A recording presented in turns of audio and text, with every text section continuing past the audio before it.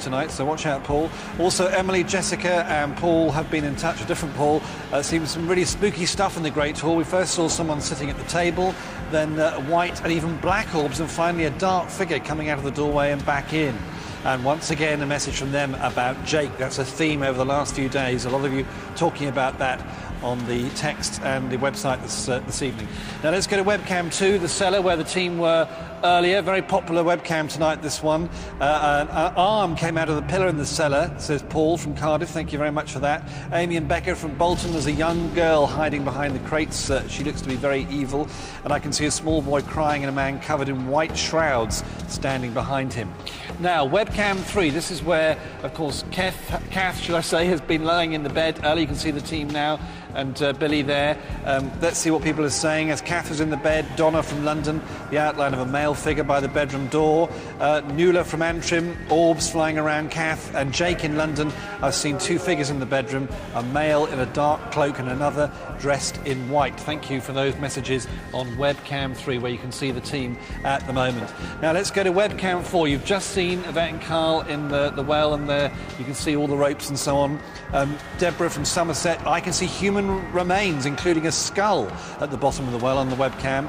And Billy and Gary from Preston, I can see a white lady uh, uh, on that webcam as well and several orbs as well. Webcam 4, very popular tonight. Thank you for all your messages on that.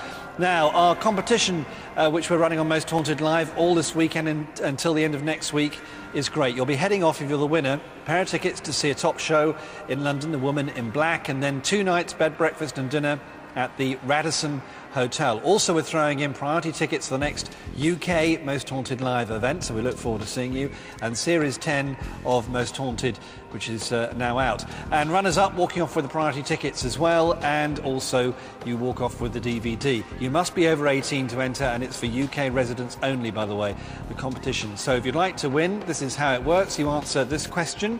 The first Most Haunted Live from abroad, Most Haunted Live Transylvania, was based in which European country? Was it uh, A, Germany, B, Romania, or C, Spain? You can enter by visiting mosthauntedlive.net. And once Most Haunted Live ends tomorrow night, you can still enter for another whole week at livingtv.co.uk slash competition. Now, the competition actually closes at midnight on the 23rd of January, and we'll remember uh, to get in touch with you, of course, and let you know if you're a winner. And if you want to know who the winners are, contact Virgin Media. So good luck with that, and we'll see you. Finally, some messages uh, to leave you with for the moment from Interactive. Paul in Leeds says, A word of warning. The demon which has been following the team around will be very dangerous. Do not leave Yvette on her own and always make sure she is well protected. Uh, uh, thus, Fred's uh, bracelet we were talking about earlier. Paul in Leeds, thank you for your message. And Gemma from Bidston says, I live in Bidston Village. I've heard many ghost stories about the hall. It's a fascinating place, she says. Definitely something eerie about it. Every time you look at the hall. Um, it gives her a strange, eerie feeling. Gemma, thank you for your message from Bidston. Good to hear from you. Uh, more from Interactive a bit later on. Paul, back to you. Thank you, Julian. Well, a lot of information emerging, a lot going on. The camera is now being brought up from the well. Leslie Smith and Fred Batt are still with us, of course. We've had Charles Stanley, then Ferdinand, possibly Strange, also a William Stanley, Leslie. Yes, William Stanley is in fact Ferdinando's brother who took over after his sudden death um, and was then the Earl of Derby, the sixth Earl of Derby.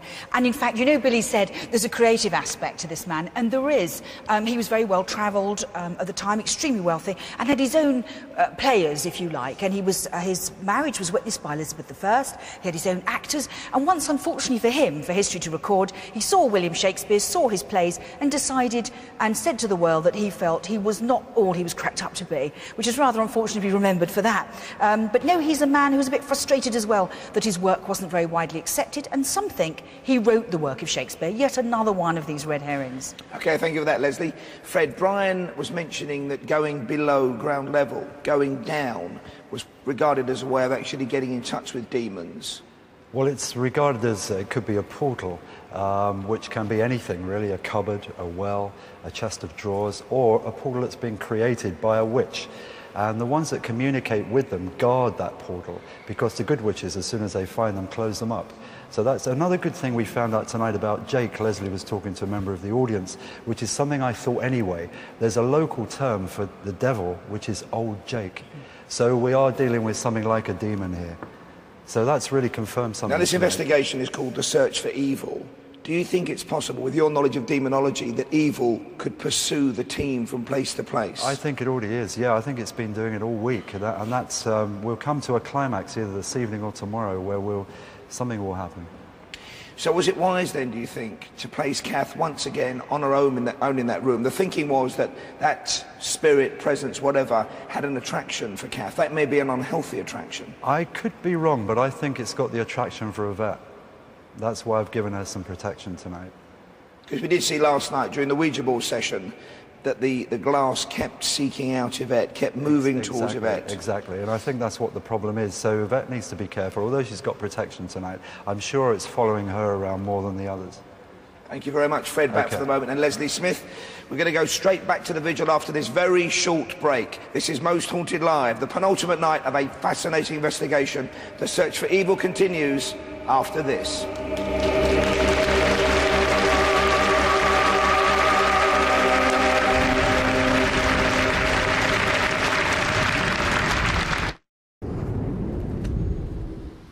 Welcome back to Most Haunted Live. The search for evil continues, although we are now worried that evil may be seeking out Yvette and the team. We have learnt that Jake, a name that's been haunting the team for about four nights now, is local slang in the northwest, parts of the northwest, for the devil.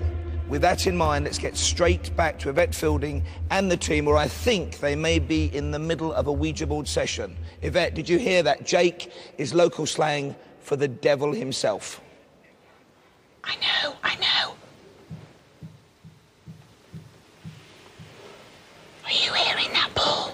Can you hear it? We can. I think we're going to check the tape from the break as well, but we can. I can hear that very clearly. Which we're all standing completely still. Yeah, okay. Just. That was.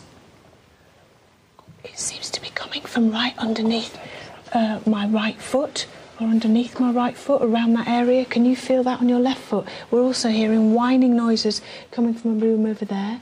I have to say. I feel like I've been stabbed in the chest. Are you all right? Yeah. Claire, our audience member. Claire. Oh, where have you moved? Oh, blimey. Are you all right? Thank you. Are you hearing the tapping noise? Very loudly, yeah. What do you think to it? I think it's it's really interesting. Isn't I've never heard anything like that. And you can see our feet, no one's Yep. moving around. Absolutely. Okay, now you picked something up, but you say you're not psychic, but you said something earlier, didn't you? We were downstairs. I was downstairs with Bill, um, Billy and Chris, and we were just chatting, making introductions. And I just, for about ten minutes, just kept thinking about a woman in my head, kneeling down, sobbing with this bloody bundle of rags with a dead baby in it. And it's, Okay. it's just this horrible image, that, you just, kept saw. flashing up in well, my see, head. maybe Leslie or uh, Fred can, can, maybe they might have some information on While that. you're telling that, I heard a breath here, and the bangs have been going bang, bang, going bang, on, bang. going, going on. Did you hear it? said Yvette. I just went, someone, have you just called Yvette? No. Right. Okay, Kieran. When Kath was on the bed, she kept feeling uh, something on her hair and on her hands. You've got an EMF meter going off there at the top of the bed where Kath was feeling energy. Yeah, I had an EMF meter recording while Kath was in the bed, and it went from uh, 2 milligauss to 18 and then to 225 milligauss. So I've got a magnetic field meter now at the head of the bed. On your command, I can turn up the sound, but I don't want to interfere if we're hearing genuine whining. That's the only problem. Just play it now quickly. The high pitched sound. That's what's con- that's the constant sound of the high EMF. Oh.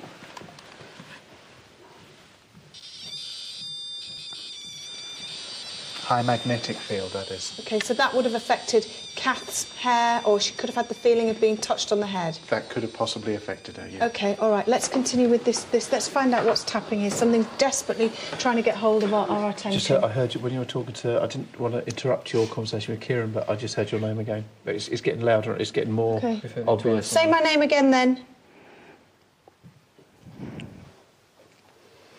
Two taps for you.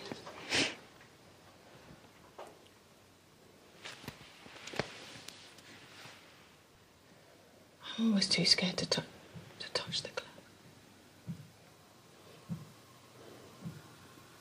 What's that? What's that? What is that? It's like a radio. Not talk back, but like a. Okay. Did you hear that? Yeah. Yeah, I, I can't. I can't. I can't pinpoint where it's Let's coming put our fingers on the glass. I'm almost too um, Right.